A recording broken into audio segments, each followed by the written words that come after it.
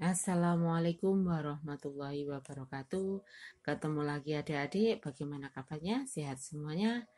Oke, kali ini kita akan membahas tentang materi termodinamika dari buku Smart Exercise kelas 11 SMA. Uh, yang disampaikan oleh saya Mbak Nurul Ernawati dari Primagama Pogalan. Oke, sudah dibuka bukunya? Kita awali dengan soal nomor 3 dulu. Nah, di situ berbunyi suatu gas ideal mengalami proses siklus seperti diagram PV di bawah. Kerja yang dihasilkan pada proses siklus ini adalah 900 kJ. Yang ditanyakan adalah VC. Dari soal diketahui nilainya P1 adalah 10 pangkat 5 Pascal, P2-nya adalah 4 kali 10 pangkat 5 Pascal. V1-nya 2 meter kubik, W-nya adalah 900 kJ. Yang ditanya adalah VC. E, seperti yang kalian ketahui bahwa yang namanya usaha sama dengan luas daerah di bawah grafik. Di situ bentuknya adalah persegi panjang, sehingga panjang kali lebar. Nah, dengan memasukkan angka-angka yang sudah diketahui, maka akan diperoleh nilainya VC yaitu 5 meter kubik. Sehingga jawabannya jelas yang C, VC-nya 5 meter kubik. Lanjut soal yang nomor 6.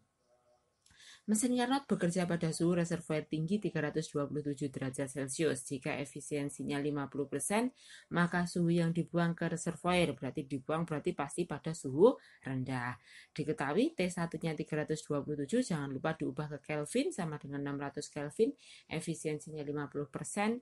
Kemudian yang ditanya adalah T2 dengan memasukkan rumus efisiensi sama dengan 1 min T2 per T1 kali 100%, akhirnya akan diketemukan T2-nya nilainya 27 derajat Celcius. Oke, berarti jawabannya pasti yang E. Betul sekali. Kita lanjut ke soal nomor 8. Suatu mesin Carnot jika reservoir panasnya bersuhu 400 Kelvin akan mempunyai efisiensi 40%. Jika reservoir panasnya 480, maka efisiensinya di situ T1 awalnya adalah 400, kemudian efisiensinya 40%, T1 aksennya 480 yang ditanya adalah efisiensi aksen. Kita cari T2-nya dulu dengan menggunakan efisiensi awal, yaitu efisiensi 1 min T2 per T1 kali 100%. Sehingga ketemu T2-nya adalah 240. Kita masukkan ke rumus efisiensi yang kedua dengan memasukkan T2-nya 4 240 dan T1-nya adalah 480 sehingga ketemu efisiensi aksennya adalah 50%. Kita lanjut soal nomor 11. Sebuah mesin gas ideal bekerja pada satu siklus Carnot antara 227 dan 127 derajat Celcius dan menyerap kalor 8 kali 10 pangkat 4 kalori. Efisiensi mesin dan usaha yang dihasilkan dalam satu siklus. T1-nya 220, Q1-nya adalah kita ubah ke Joule, nilainya 336 ribu Joule, T2-nya adalah 127 derajat Celcius atau 400 Kelvin. Yang ditanya efisiensi dan usaha. Efisiensi dengan rumus yang sudah kita hafal atau kita pelajari, efisiensi adalah 1 min T2 per T1 kali 100%, ketemu 20%. Tanpa melihat yang B sebenarnya uh, sudah kelihatan jawabannya adalah yang D pasti.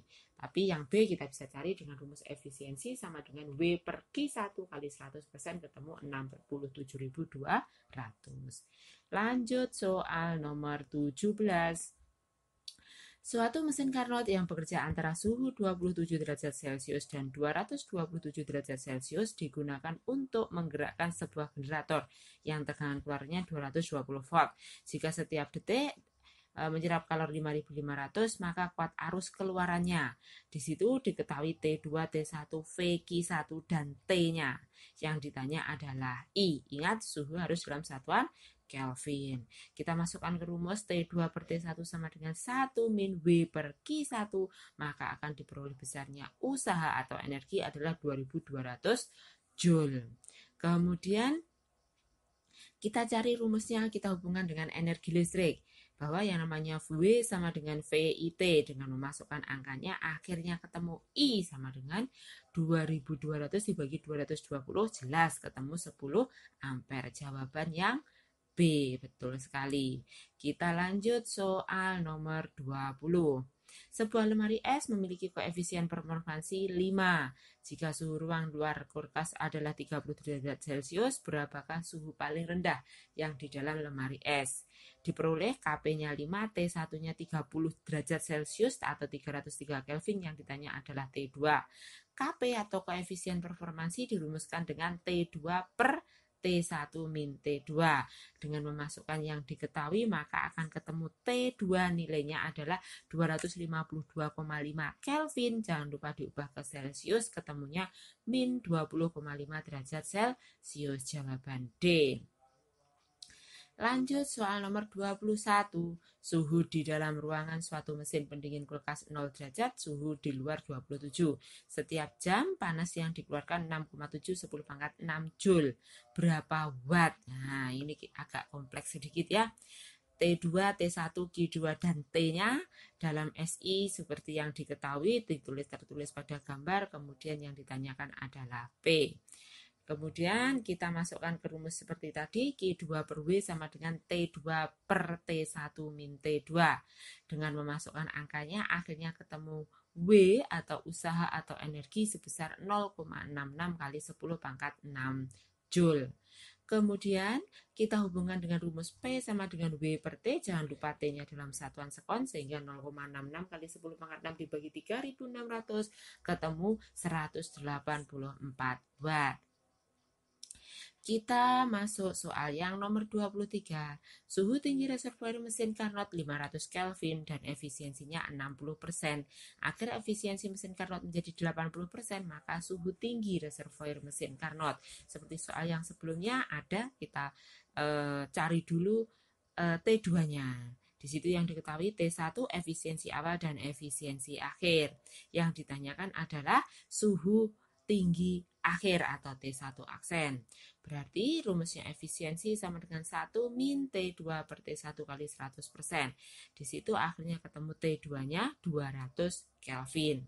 Dengan memasukkan T2 200 Kelvin, kita masukkan ke rumus yang sama eh, dengan mencari eh, T1 aksennya, tapi beda. Efisiensinya jadi 8 sehingga ketemu nanti kalau kalian masukkan nanti akan ketemu T1 aksennya adalah 200 per 0,2 ketemu 1000 Kelvin yaitu jawabannya yang C. Betul sekali.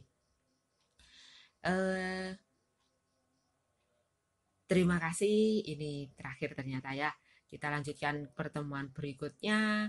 Eh, sampai ketemu pada video-video pembahasan berikutnya. Wassalamualaikum warahmatullahi